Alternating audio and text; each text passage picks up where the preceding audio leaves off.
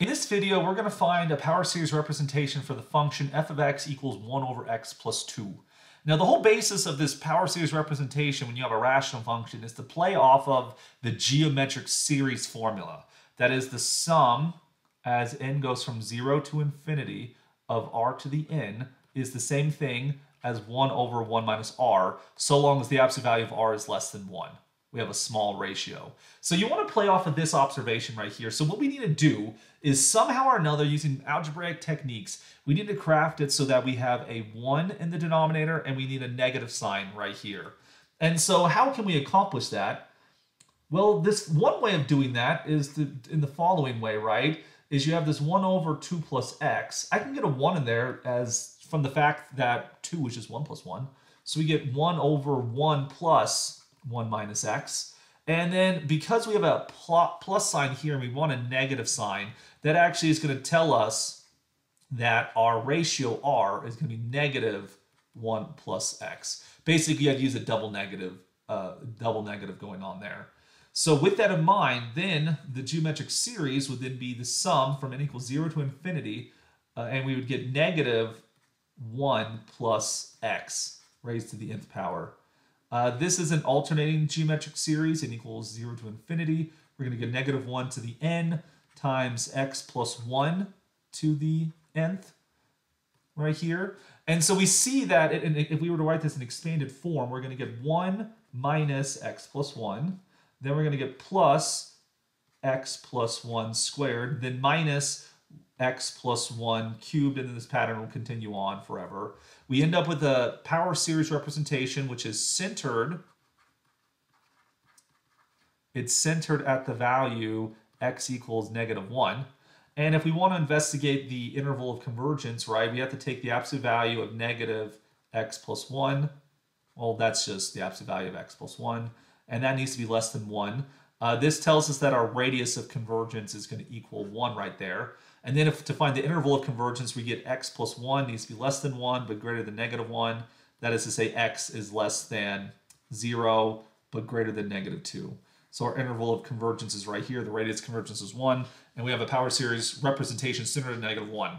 Now, what, what I want to mention here is everything we've done is absolutely correct. This is correct. But it turns out there, there might be a better way of doing this, which might seem a little less intuitive when the first time you see it, but when we compare the two, it'll make more, more sense. And this is actually how it's recommended in the textbook, and this is my recommendation as well. Um, if you have 1 over 2 plus x here, remember, we want to have a 1 right here. And so we could just take 2 minus 1 and get 1, or we could factor it. Factoring it's going to be a lot more fruitful for us. If you factor out the 2, you get 1 over 1 plus x over 2. And so like we observed above, we're going to take our common constant ratio r to be negative x over 2. Because again, we need a negative sign here, so we're using a double negative. And so therefore, our series then becomes 1 half the sum as n equals 0 to infinity. And we end up with negative x over 2 to the n, which we can rewrite that as, as a sum from n equals 0 to infinity and we get negative 1 to the n, it'll be an alternating series, x to the n over 2 to the n plus 1. So I'm taking the two n's, the, the, the, sorry, the n many 2's we have in the denominator, and then you throw in one more from the factor of 1 half. So in expanded form, this would look a little bit different. Uh, you're going to get 1 half as your first term. Uh, then your next term, you're going to get minus x over 4. Then you're going to get plus x squared over 8. Then you can get minus x cubed over 16, and then this pattern will continue, continue uh, ad infinitum.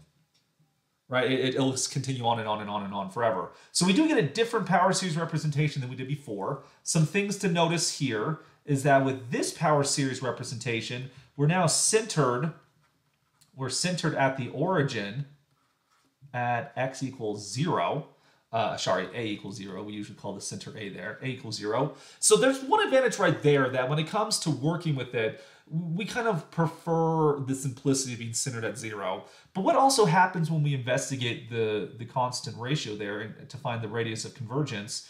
Uh, so we're going to take negative x over 2. This needs to be less than 1. Well, taking the absolute value, uh, this will look like 1 half times the absolute value of x is less than 1. So therefore, the absolute value of x needs to be less than 2. This is our radius of convergence. So we can already see sort of a difference here. The radius of convergence in this with this approach, where we center it at 0, is going to be twice the radius of convergence than when we center it at negative 1. So a bigger radius of convergence is actually a good thing. So it means our, our power series representation will be equal to the 1 over 2 plus x more for more values of x. And then we see that the interval of convergence will be x is less than 2 but greater than negative 2, which compare that we said what we saw before. The previous interval of convergence was from negative 2 to 0. This one is now from negative 2 to 0, negative 2 to 2, excuse me. So this interval of convergence it, it includes the entire interval of convergence from before, but it also has twice as much. And so this right here will be our ideal power series representation because this will give us the maximal interval of convergence. And this is accomplished this is accomplished by factoring whatever coefficient we see in front of this constant term here. We need a 1 right there, so whatever it is, factor out the coefficient, and this will give us a nice big interval of convergence.